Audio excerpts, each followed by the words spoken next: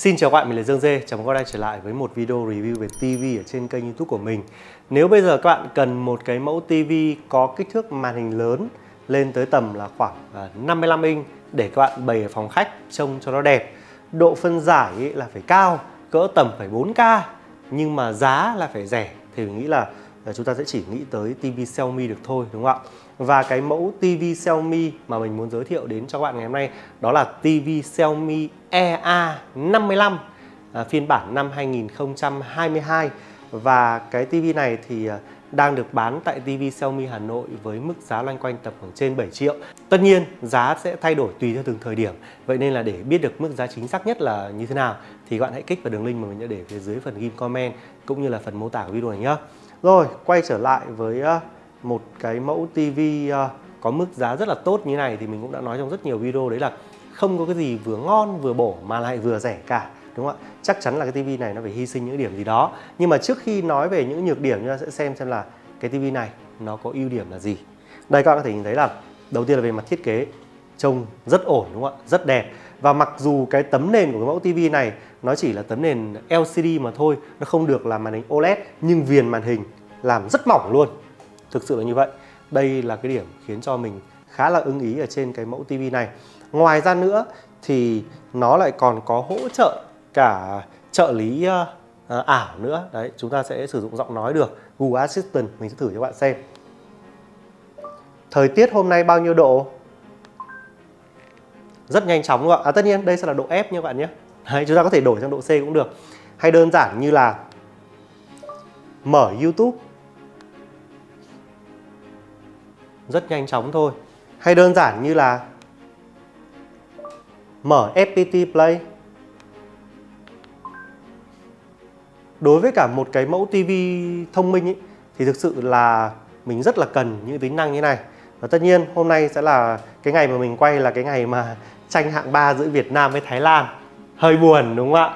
Đấy à, anh em chúng ta lại xem Lào với cả Malaysia gặp nhau ở trận chung kết thì nghe chừng cũng hơi buồn. Nhưng thôi biết làm nào được quay trở lại uh, chủ đề chính.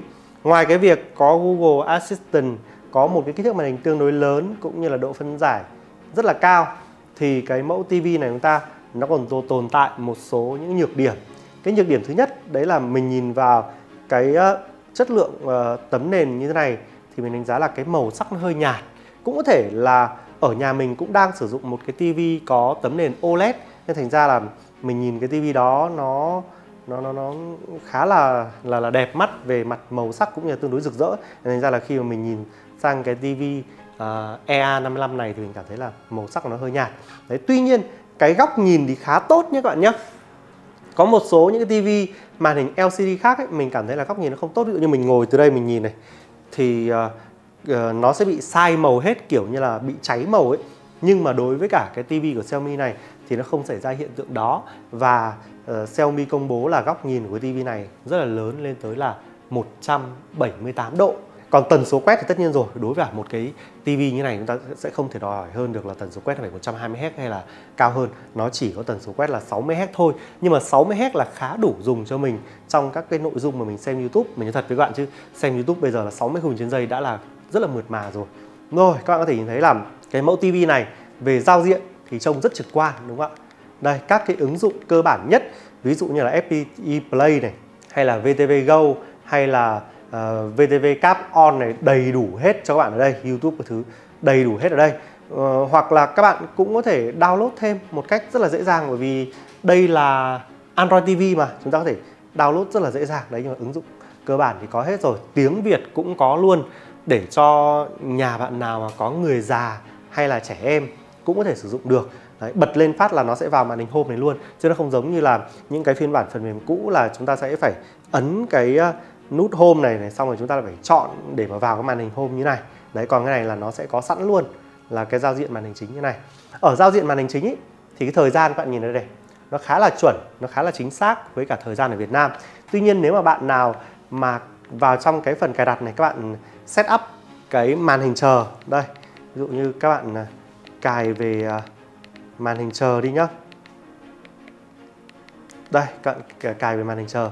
Thì uh, nó sẽ bị sai thời gian đấy nó sẽ bị để sang thời gian Trung Quốc đây ví dụ như mình uh, ấn vào cái màn hình chờ này chẳng hạn này đấy thì nó sẽ bị sai cái giờ này ở Trung Quốc thì đây sẽ là một cái ờ, nhược điểm nữa mà chúng ta phải chấp nhận còn về loa thì cái mẫu TV này của chúng ta nó sẽ có loa kép và hai loa của nó sẽ có công suất tổng là 20W, mỗi bên là 10W.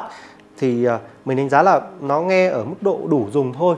Nghĩa là sao? Nghĩa là nếu mà các bạn để ở trong phòng như này, các bạn để âm thanh lên mức độ khoảng 50 là chúng ta nghe đã, đã khá to rồi. Nhưng mà nếu mà bảo là để nghe nhạc hay cái thứ ấy, thì là không đâu nhé các bạn nhé. Nếu mà muốn nghe nhạc hay chúng ta phải mua thêm các cái mẫu soundbar về hoặc là kết nối với cả loa Bluetooth thì nó mới có thể nghe hay được tại vì là loa uh, loa chung của những cái mẫu TV như này thì nó nghe gọi là ở mức độ đủ dùng thôi. Các bạn xem thời sự này hay là các bạn xem bóng đá, xem bình luận bóng đá, xem thể thao các thứ thì được. Chứ bảo là nếu mà nghe ca nhạc các thứ mà để hay thì chắc chắn là chúng ta phải phải phải mua thêm các bộ loa bên ngoài.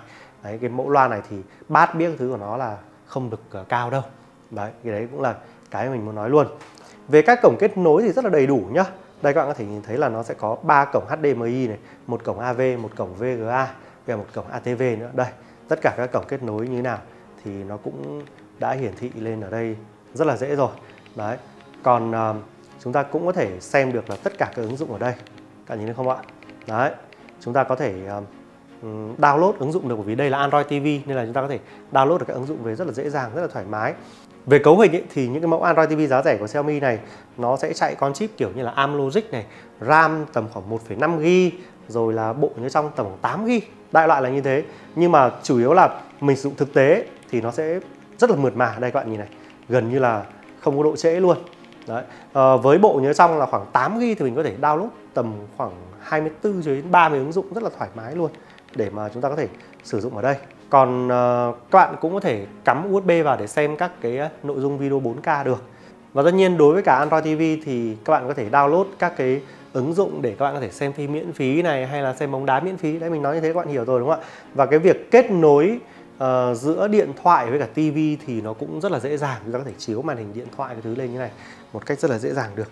Thì đấy là những cái ưu điểm của những cái um, uh, TV như thế này ở trên những cái dòng sản phẩm à, uh, TV của Xiaomi thì mình cũng thích ở cái chỗ là cái điều khiển này của nó này sử dụng rất là dễ dàng luôn đây cái uh, điều khiển này thì uh, nó là điều khiển Bluetooth chứ không phải điều khiển hồng ngoại nghĩa là chúng ta có thể giờ ở bất kỳ đâu chúng ta cũng có thể điều khiển được này.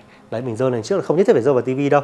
Và cái à, thiết kế thì cũng rất là đơn giản các cái nút ở đây thì rất là dễ dùng. À, nhưng mà mỗi tội là nó không có bàn phím số ở đây thôi.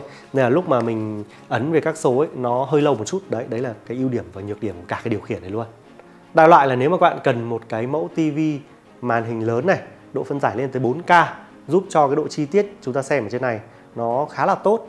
À, nhưng mà mức giá lại phải rẻ thì à, TV Xiaomi EA 55 inch phiên bản 2022 sẽ là một trong những sự lựa chọn dành cho các bạn. Tất cả thông tin về cái mẫu TV này mình đã để phía dưới phần ghim comment cũng như là phần mô tả của video của video này rồi. Các bạn có thể kích trực tiếp vào để xem nhé, hoặc truy cập đến à, website của TV Xiaomi Hà Nội.